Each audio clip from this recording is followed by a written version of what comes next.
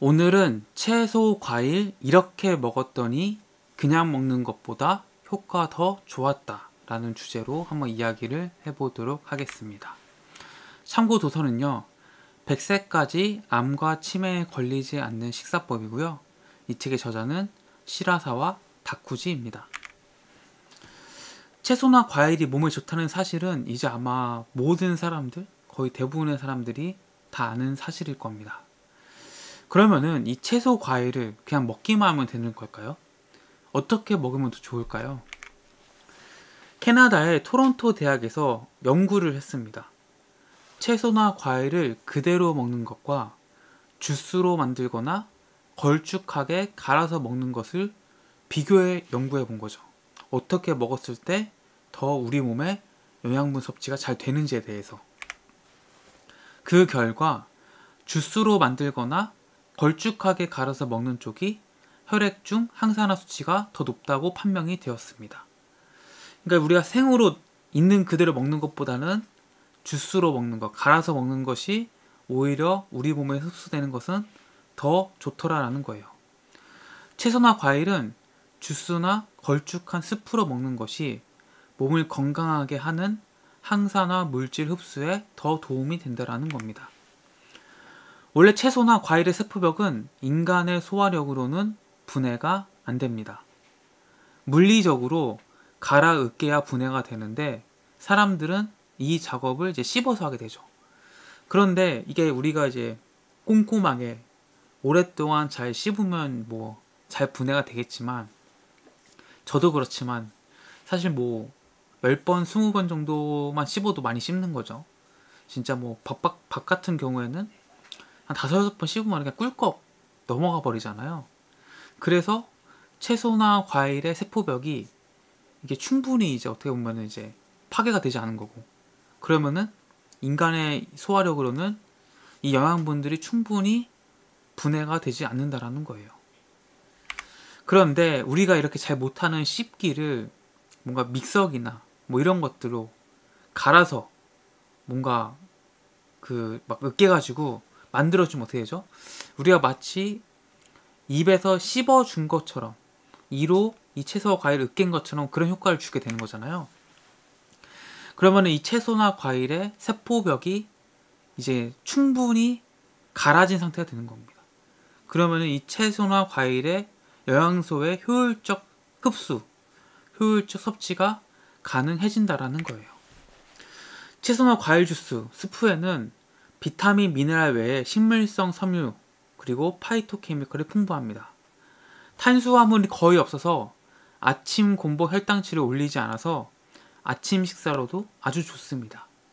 이 채소나 과일은 탄수화물이 거의 없죠. 뭐 물론 있긴 있죠. 있긴 있는데 많지 않습니다. 그래서 혈당치를 많이 높이지도 않는다. 그래서 아침 식사로 뭔가 거창하게 뭔가 한 끼 식사하는 것보다 채소나 과일로 아기, 아침 식사 그리고 채소나 과일을 주스로 만들어서 한 잔씩 마시는 것도 정말 훌륭한 식사가 된다라는 겁니다. 이 채소와 과일에 들어있는 파이토케미컬이 무려 1촌여 종이 넘는다고 합니다.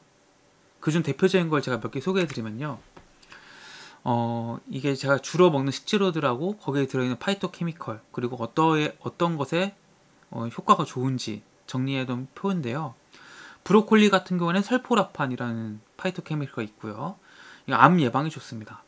토마토는 lycopene, 암과 스트레스 예방에 좋고 카레는 커큐민, 뇌, 인지 기능, 노화에 좋습니다. 무즙은 제가 지난 영상에 다뤘죠?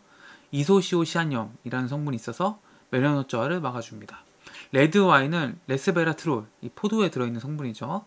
심장과 혈관 노화에 좋고요.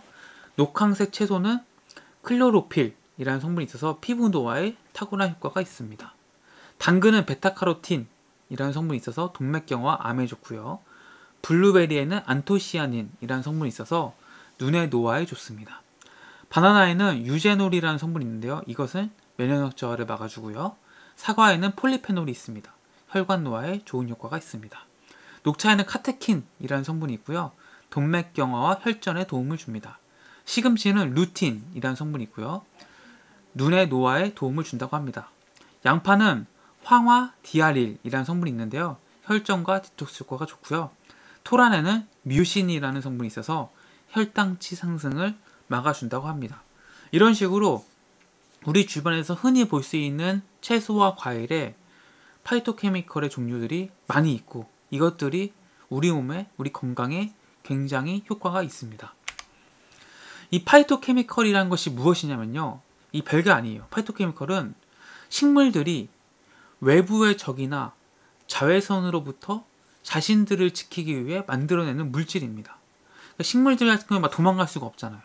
막 움직일 수가 없잖아요. 그러니까 그 자리에서 뭔가 자신이 이제 그 훼손되고 자신이 죽는 것을 막기 위한 그 노력들을 해야 되는 건데 그때 생성되는 물질이 파이토케미컬이라는 거죠. 그래서 이 파이토케미컬은 채소나 과일의 색, 뭐 맛, 향기 이런 것들이에요. 아무래도 이 채소가 막 쓰다 이러면 많이 안 먹을 거 아니에요. 이 채소 막 맵다 그럼 막 안 먹게 될 거 아니에요. 그 향이 막 독하다 이러면 안 먹게 될 거 아니에요. 가까이 가지 않을 거 아니에요. 그 자기의 몸을 지키기 위해서 식물들이 만들어내는 것이 파이토케미컬이다. 그래서 식물의 껍질이나 줄기 부분에 풍부하게 들어 있습니다. 따라서 채소와 과일은 껍질째 먹는 것이 좋고요. 껍질째 먹는 거다 보니까 아무래도 무농약 제품들을 식품들을 먹는 게 좋아요. 무농약으로 이제 길러진 식물, 채소, 과일을 먹는 것이 좋다라는 거죠. 현대 이제 농업에서는 너무 이런 농약 같은 걸 많이 쓰기 때문에 사실 잔류 농약이 나올 수밖에 없다고 생각이 들거든요. 그래서 조금 비싸더라도 무농약 채소 과일 선택해서 드시는 게 좋고 그게 좀 부담된다 하시면은 잘 세척해서 드시는 것이 중요합니다. 이 식탁에는 7가지 색의 채소를 준비하는 게 좋은데요. 식탁에 올리는 채소의 색이 다양할수록 여러 파이토케미컬을 섭취할 수 있게 됩니다. 아까 표에서 보여드렸지만 그 채소와 과일에 들어있는 그 파이토케미컬 다 다르잖아요. 이 색깔에 따라 다르고 향에 따라 다르고 뭐 맛에 따라 달, 달라지는 겁니다. 그래서 뭐 특정 채소만 한 가지 채소만 먹는다 이게 좋다기보다는 여러 색의 채소를 골고루 먹는 것이 좋다. 그리고 또 이제 이게 색이 이제 중요한 파이토케미컬의 그 성분 중 하나니까 후숙되면서 색이 짙어지는 토마토나 사과는 진한 붉은색일수록 많이 들어있게 되는 거고요. 포도 역시 진한 보라색일수록 레스베라트롤이 많이 들어있게 되는 겁니다. 또 진한 색의 파이토케미컬이 많다는 사실을 염두에 두고서 채소나 과일을 고르실 때는 진한 색깔의 채소 과일을 고르셔라.